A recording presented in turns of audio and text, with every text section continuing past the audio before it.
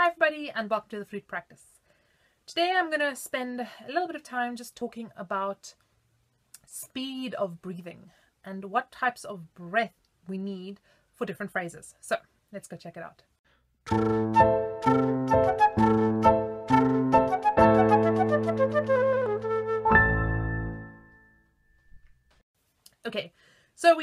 We have to take a breath in, uh, but we don't always think about how much air we actually need and how important that is. We also don't think to breathe appropriate to the phrase we're about to play. So this has got two kind of sides to the coin. On the one hand, sometimes we need very little air and we have a lot of rest be beforehand and we tend to breathe almost too much for that phrase. Even though, you know, you can't breathe too much, sometimes you actually can. And I personally am a kind of person, I actually sometimes, especially when I'm nervous, I breathe too much. And this results in me actually feeling uh, kind of almost out of breath and I feel like I kind of need to get rid of air. And I do this, I sometimes, especially when I'm um, playing quite loud sections, I actually kind of breathe out a lot of air through my nose to get rid of get rid of uh, oxygen. Hyperventilation is contrary to popular belief, it's actually getting too much oxygen, which makes you dizzy.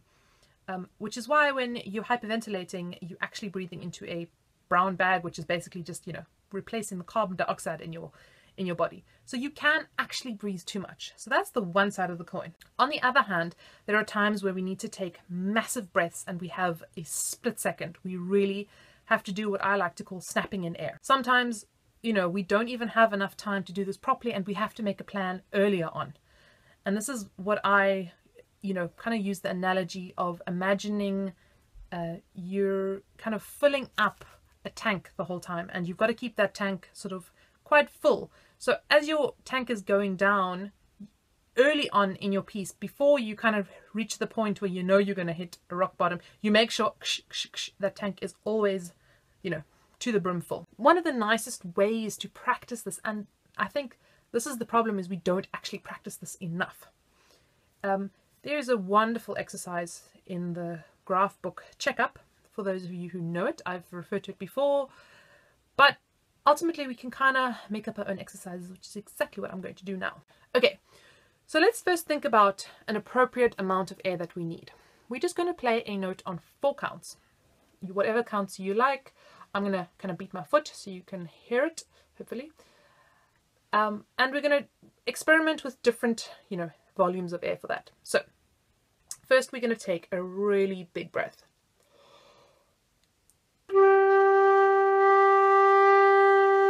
And you're going to feel, I've got lots of air left. So now I'm going to take a slightly less, you know, big breath.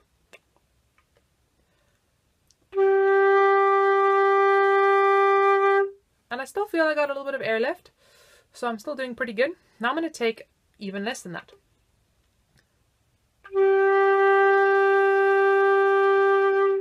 Now I'm starting to feel like I still have some air, but you know, kind of reaching the end of that. And now I'm going to take basically no breath.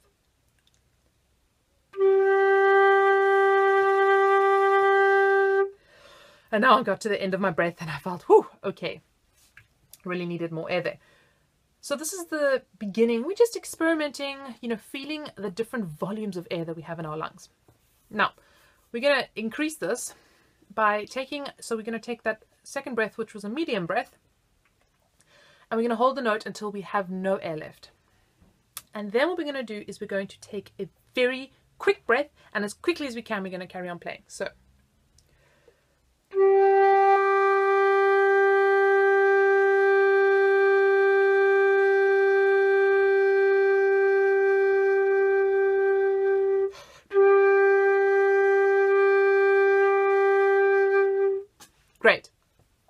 Did there, I didn't take a kind of a breath, even though it's very tempting to kind of think, um, and there are going to be some times when we really, really, really cannot do any other thing. But for the most part, we can always still think of our ho. So we're going to be thinking not a, sorry, we're going to be thinking not a, but a, it's like getting a fright. You never get a fright and go, unless you're, you know, I don't know, Barbie or something. No, you always go, oh my word. And this is actually the, the body's most effective way to get air in really quickly is it open up here and just So you're going to want to practice doing this. You practice practicing going.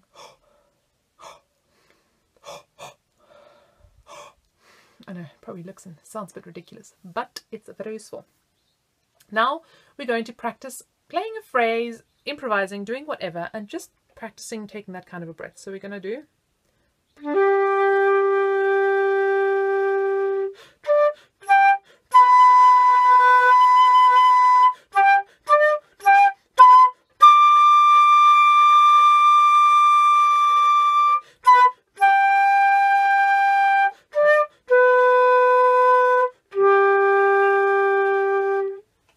Now what this should feel like is that filling it up, filling, refilling, refilling, refilling, refilling. So we go out, we go out, and refill, and down, down, down, and refill, and refilling. That refilling feeling. Uh, sorry, I've said that a lot of times, but it is that feeling of tanking up the whole time, tanking up, tanking up, tanking up. This is something. It actually. I'm not joking when I say this, and I think I've said a lot of things have changed my life and changed my playing, but these, this is one of the points where I was like, wow, this really changed the way that I thought about playing. Thinking about number one, actually practicing this, and number two, doing this in pieces. Um, there's some very kind of famous examples. Prokofiev, fourth movement, you know, before that horrible section we all know, the you know, and there's you know, it's there's a lot of da da da da da da da da da da da da da I'm singing so terribly. I'm sorry, but the point is we have to kind of tank up, tank up, tank up, tank up, and then long phrase without any breathing. If you're really practicing this tanking up feeling, you'll get through, you know, longer phrases than you ever thought you could and would.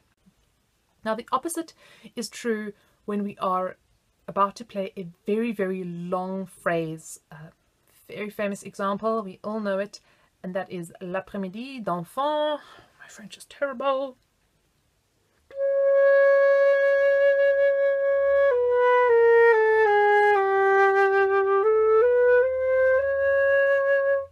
We all know it. Now I have heard tons of ways to breathe for this and no doubt nothing's going to work for the same person. In fact, I really I watched an interesting YouTube video the other day, uh, study. Maybe I'll post it below. Basically, uh, these researchers were trying to research how people breathe, and what they discovered was that everybody actually breathes differently. And this is the reason why there are so many different tips for people and why, you know, everything works differently for different people. So you really have to kind of experiment around with what works for you. For me, in, you know, beginning a piece like this, I like to really think of a, quite a slow in breath and just opening up completely and really opening up and then allowing it to release. Cool. I hope that uh, is a little bit more info on the breathing. Have fun with it, experiment with it, try, you know, breathing in different volumes of air and let me know how it goes. Happy practicing everyone and see you next time.